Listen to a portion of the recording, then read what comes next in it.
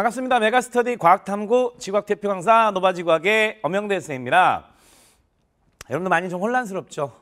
선생님도 지금 어, 저도 이런 상황을 좀 처음 겪어봐가지고 많이 혼란스러워요.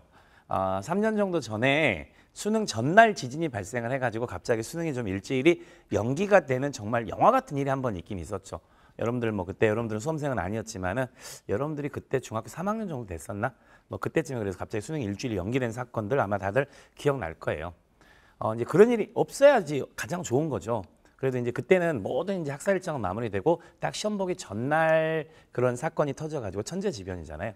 그래서 그냥 수능이 일주일 연기돼서 그냥 그동안 쭉 공부했던 대로 일주일만 더 공부를 하고 나서 시험을 보면은 된 그런 상황이었는데 이제 올해 같은 경우에는 이 코로나 바이러스 때문에 여러분들 이제 우리 고3들 같은 경우에는 학교 개학 일정도 다 늦춰지고요. 지금 벌써 이제 한 달 이상 개학 일정이 늦춰졌잖아요. 그리고 이제 4월 9일 날부터 차례대로 온라인 개학이 이제 시작이 된다고 하지만 이제 현장 학교에 나가는 건 또 학교마다 이제 지역마다 어떻게 좀 차이가 날지도 모르는 거고 그리고 고3 학생들 같은 경우에는 이제 3월 달에 학교 개학을 해서 학교 수업을 들으면서 뭐 선생님과 같이 인강도 같이 듣고 그리고 쭉 보통 우리 계획된 쭉 이 커리큘럼이 있잖아요.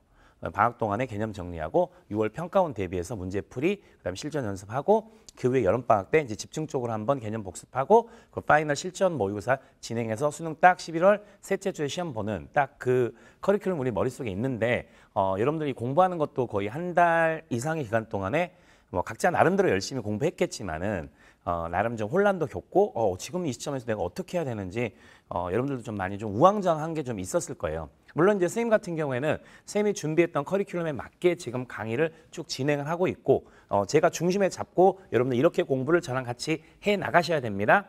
그리고 예전에 났던 드라마에서처럼 전적으로 저만 믿고 가셔야 됩니다라고 하면서 커리큘럼을 진행을 하고 있어요. 그래서 쌤이랑 지금 개념부터 시작을 해서 문제풀이까지 지금 쭉 따라온 학생들은 쌤이 매주 올려드리는 강의 듣고 수강하고 여러분들 그렇게 공부를 쭉 진행하고 있을 겁니다. 제가 중심 잡고 진행을 할 테니까 그냥 다른 거 생각하지 말고 지구학 강의는 지구학 문제, 지구학 수능 만점은 쌤만 믿고 좀 따라오세요. 자, 그 대신에 이제 어, 어떻게 보면은 시간적인 여유가 되게 많아진 상황이죠. 원래 2월 말에 방학이 끝나고 이제 학교를 다니면서 공부를 했어야 되는 상황인데 우리 고3 학생들 같은 경우에는 이제 학교 개학을 하지 않기 때문에 뭐 다들 뭐 독서실이라든가 아니면 집에서라든가 그리고 뭐 근처 도서관 같은 경우에는 요새 이제 어, 열지 않는 경우가 많으니까 뭐 나름 이제 어, 여러분들이 공부하는 장소에서 어, 다들 충분히 여러분들이 할 수 있을 만큼 최선을 다해서 공부를 하고 있겠지만은 현재 상황에서 이제 우리가 요 지구학이라는 과목만 놓고 공부를 했을 때 지금 시점에서는 어떤 것들을 하고 어떻게 공부를 하는 게 좋은지 거기에 대해서 선생님이 좀 여러분들하고 같이 좀 얘기를 한번 해보도록 할게요. 그래서 선생님은 지금 현재 어, 온라인상으로도 그렇고 현장에서도 그렇고요.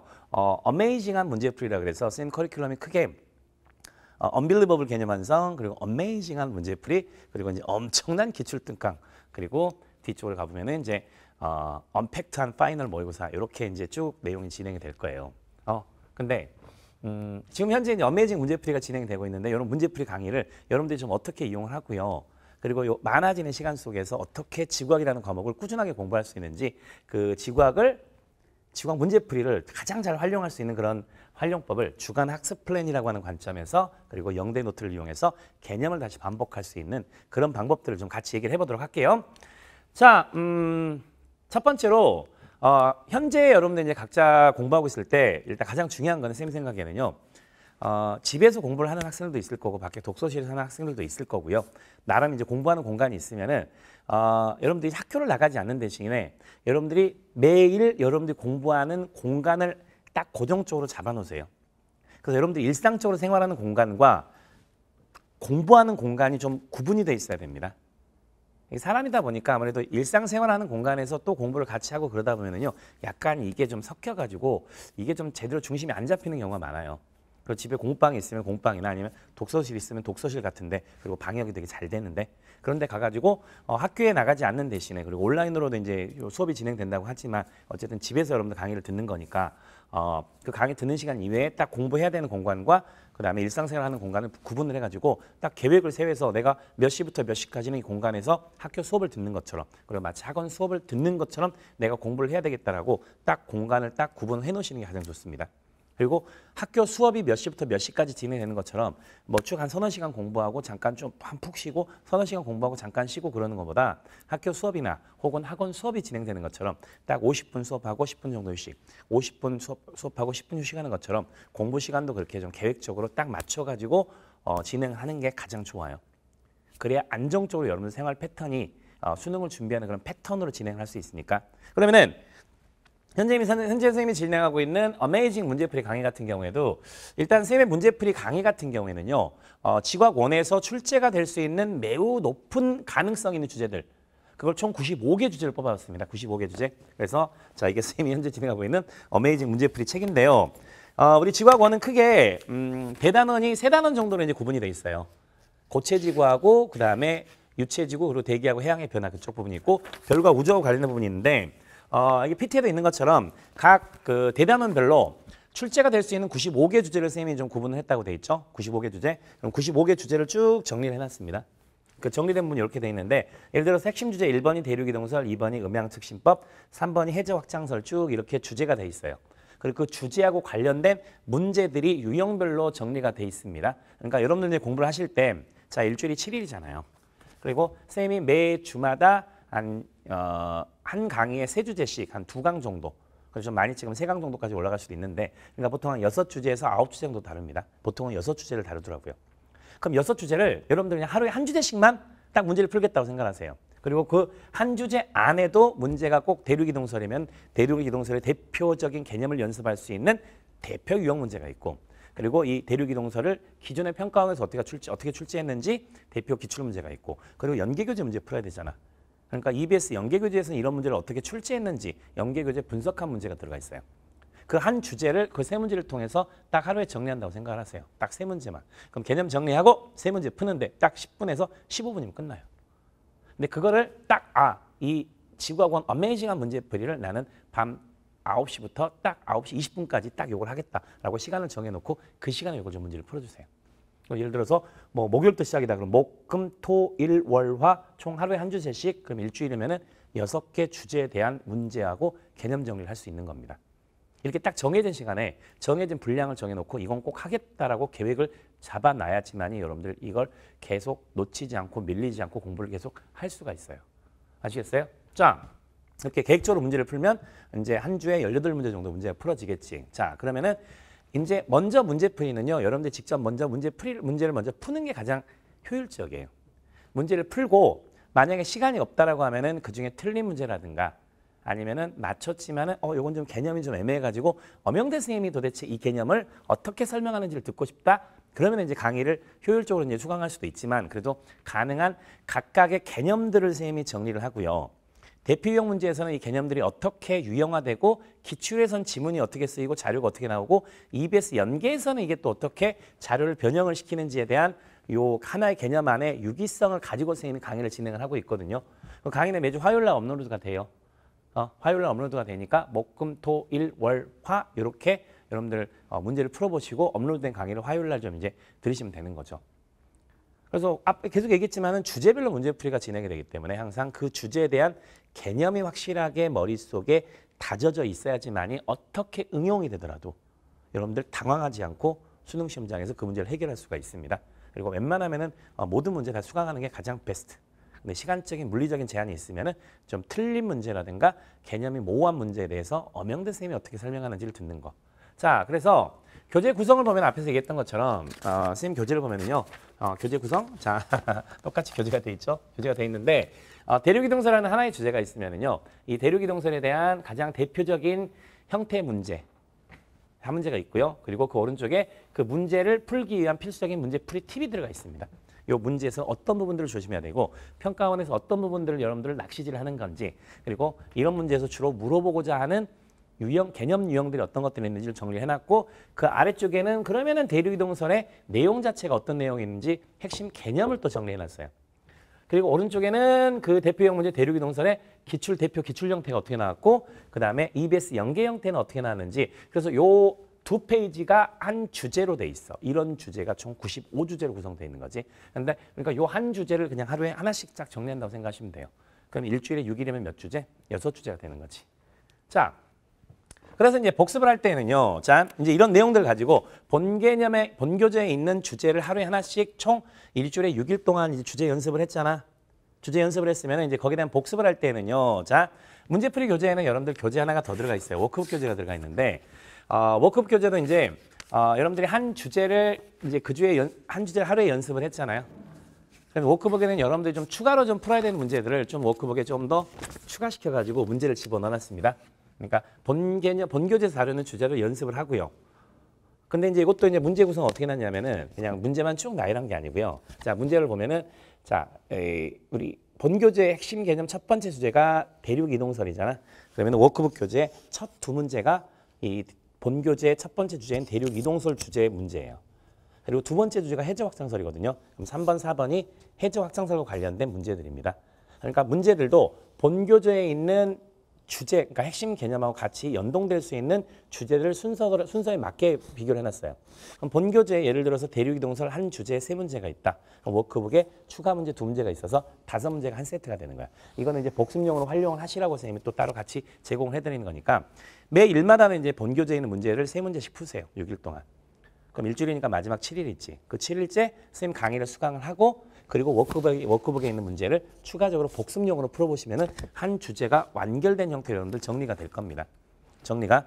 자, 그리고 나서, 어, 이제 쌤하고 개념 강의를 들었던 학생들은요, 쌤 개념 교재 내용들이 다 저- 정리가 돼 있지만은, 이제 쌤이 실제로 수업 시간에 진행, 어, 치- 칠판에 필기를 하면서 진행했던 내용들을 이렇게 영대 노트라고 해 가지고 따로 이제 쭉 실제로 저희, 어, 쌤 수업을 들은 조교들이 어, 이렇게 쭉 정리를 했어요. 그러면은 어, 문제, 문제풀이 본교재에도 핵심 개념이 정리가 돼 있지만은 쌤이 그 칠판에 필기하면서 정리했던 내용들 거기 아주 잘 정리가 돼 있어. 그러니까 영대 노트에 있는 개념들을 대륙이동설에 관련된 개념들을 다시 한번 공부를 하고 그 개념들을 다시 한번 반복, 반복, 반복해서 완전히 내 걸로 만들 때까지 공부를 해야 되는 거야. 그래서 이런 어메이징한 문제풀이도 주제별 문제풀이를 본교재 진행을 하고요. 선생님 강의 들으면서 복습하고 그리고 워크북 문제 추가 문제 풀면서 복습을 하고 영대 노트에 있는 내용을 가지고 핵심 개념 다시 한번 반복을 하고. 근데 이게 생각보다 시간이 그렇게 안 걸려요. 아, 문제 세 문제 풀고 추가 문제 두 문제 풀고 개념 정리하는 거니까. 어, 그래서 어, 현재 어, 교, 지금 교육과정이 개정되면서 이제 문제, 어, 각 선생님들마다 이제 개념 강의들은 거의 다 이제 끝났죠. 선생님도 이미 1월달에 개념 강의는 끝났고 그 이후에 이제 그 이후 과정으로 여러분들이 이 개념을 어떻게 내가 결국 수능이라고 하는 게 문제 푸는 거잖아. 문제 풀어서 답을 맞추는 거잖아요. 그럼 그 문제를 어떻게 해결하는 과정이 있는지 그 실전 문제 풀이 과정이 필요합니다. 그래서 6월 평가원 전에는 이런 실전 문제 풀이 과정이 반드시 한 번은 끝나야 돼요. 그래서 선생님은 현재가 현재는 이제 요 이런 실전 문제 풀이 강의하고요. 그리고 이제 어, 개정 교육 과정에 맞는 기출 문제들이 과거에 어떤 것들이 있었는지 선별을 해가지고 그 기출 문제 강의도 동시에 같이 진행을 하고 있어요. 그러니까 어쨌든 6월까지는 이제 문제풀이 가지고 여러분들 실력을 한 단계 업그레이드 시켜야 될 단계야. 그래서 이 오늘은 이제 선생님이 어메이징한 문제풀이 활용 강의 팁을 팁을 드리지만은 요 문제풀이 이외에도 기출 문제 강의도 어 본교재 문제풀이 교재에 있는 문제 이외에 또 여러분들이 좀 고난이도 풀어야 되는 기출 문제들을 기출 문제 강의로 같이 진행을 하고 있어요. 요 두 개를 마치 어 마차의 양쪽 자동차의 두 바퀴의 양쪽 바퀴를 바퀴라고 생각을 하고 쭉 진행을 하면은요. 어, 새로운 유형의 문제라든가 주제별 문제 그리고 기존에 났던 기출 문제 평가원의 눈으로 바라보는 기출 문제가 여러분들 정리가 되니까 아, 아, 수능이 어떻게 나올지를 여러분들 스스로도 볼 수 있는 눈이 생길 거예요. 알겠어요? 근데 이제 이 워크북 강의 같은 경우에는 이제 선생님이 현재 강의는 본교재 강의는 진행을 하고 있어요. 그래서 워크북 문제를 풀다가 어, 좀 약간 궁금한 점이 있으면 언제라도 저희 게시판에 질문 올리시면은 저랑 저희 연구실에서 여러분들 질문을 최대한 빠른 시간 안에 해결을 해드릴 거고요. 어, 그리고 어, 추후에 이제 본교재 강의가 끝나면은 이 워크북도 선생님이 따로 촬영을 해서 문제 같이 올려 드릴 겁니다. 걱정하지 마시고 워크북 강의도 같이 들어보세요. 그래서 이제 지금까지 설명드렸던 대로 하면은 자 목요일 기준으로 한번 봐봅시다. 목요일 기준으로 해서 자 매 주마다 세 문제씩 일단 하루에 세 문제 세 문제씩만 6일 동안 푸세요. 본교재. 그리고 나서 그럼 열여덟 문제 풀었죠. 그러면 선생님 강의가 항상 화요일 날 업로드가 되면은 화요일 날 그 강의를 들으세요. 그리고 나서 남은 수요일 날 이제 워크북 문제에 있는 추가 문제. 그러면은 총 한 주제당 두 문제 추가 문제가 있으니까 6일 동안 12문제를 푸는 거죠. 그리고 영대 노트의 개념 부분을 같이 이 워크북 문제를 보면서 개념 부분 빠진 부분을 좀 약간 보충을 하는 거고. 그럼 이런 식으로 하면은 총 6개 주제 30문제를 매 주당 풀게 되는 겁니다. 그러면 매 주당 30문제인데 요게 10주만 되더라도 선생님 문제 풀이 강의가 10주니까 그럼 벌써 300문제가 끝나는 거야. 이게 이제 수능 때까지 계속 지속이 되는 거고요. 자, 그래서 확실한 계획을 잡고 정해진 분량을 그날 안에 반드시 끝내는 그리고 공부 분량이 미뤄지지 않는 그런 공부를 지금 여러분들 해나가야 될 때입니다. 그 계획을 반드시 잘 세우셔야 되고요.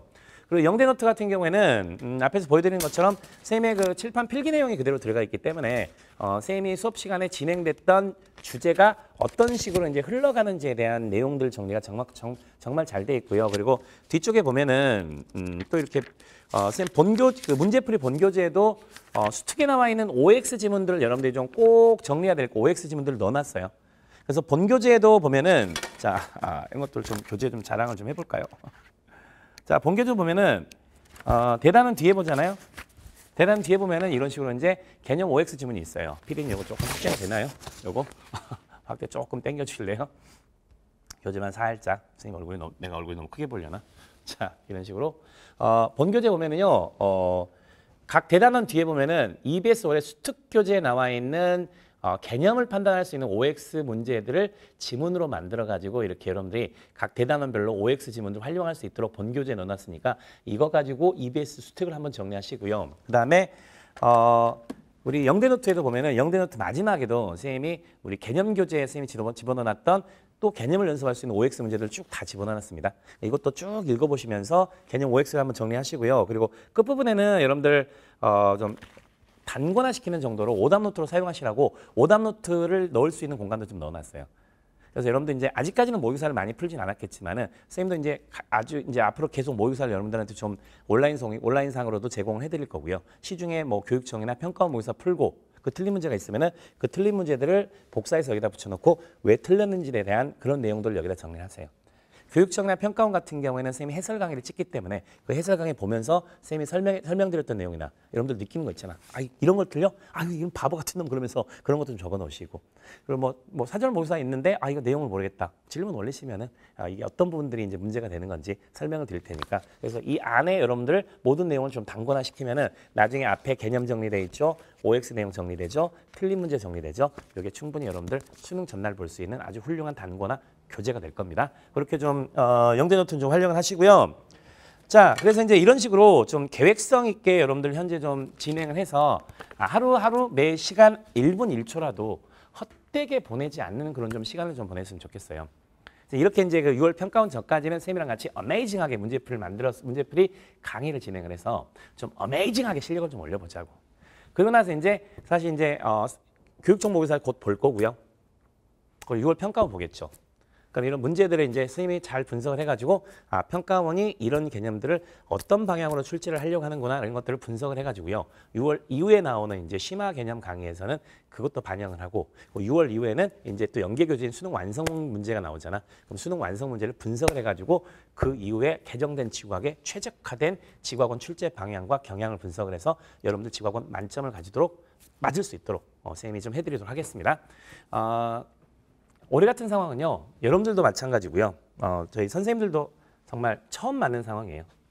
처음 맞는 상황이지만 이런 상황에서 선생님이 중심 잃지 않고 선생님이 정해진 커리큘럼에 맞게 선생님이 계속 좋은 강의와 좋은 컨텐츠 여러분들 제공을 해드릴 테니까 여러분들 지각원은 전적으로 선생님만 믿고 좀 따라오시고 그리고 계획성 있게 정해진 분량은 그날 꼭 마무리하는 그러한 공부를 하시면은 어, 주변에 친구들이 좀 약간 우왕좌왕할 때 일단은 내가 스스로 중심을 잡고 공부를 잘 해나가는 게 중요하잖아. 수능은 자기와의 싸움이니까 내가 할 것만 하세요. 주변에 상황이 어떻게 돌아가는지 그런 건 신경 쓰지 마시고 내 할 것만 하면은 여러분들 올해 좀 어, 수능 일정도 미뤄지고 했지만은 그 12월 3일 수능 끝나고 난 저녁에 정말 활짝 웃는 여러분들의 모습을 거울 속에서 볼 수 있을 거라고 믿어 의심치 않습니다. 어, 아무쪼록 어, 아직 코로나가 아직 아주 진정이 된 상황이 아니기 때문에 가장 중요한 건 건강 관리겠죠. 어, 건강 관리 잘 하시고 선생님도 선생님이 아프면 또 안 되잖아요. 선생님 강의 올려드려야 되니까 선생님도 건강 관리 잘하고 뭐 어, 저도 최대한 지금 집하고 요 강의 촬영하는 곳만 왔다 갔다 하면서 강의를 진행을 하고 있습니다. 건강 관리 잘 하시고 정해진 분량 선생님이라고 약속하고 어, 우리 한번 어메이징한 문제풀이 진행을 해서 어메이징하게 실력을 올려보도록 합시다. 자, 봄이 왔지만 아직 봄같이 느껴지진 않지만 그래도 여러분들이 매일 해나가야 되는 분량이 분량을 완전하게 해나가게 되면은요 12월 그 추운 수능 날에도 여러분들은 따뜻한 봄날과 같은 그런 기분을 느낄 거라고 생각을 합니다. 한번 선생님 엄영대 선생님 한번 힘차게 화이팅하고 한번 열심히 해봅시다. 화이팅!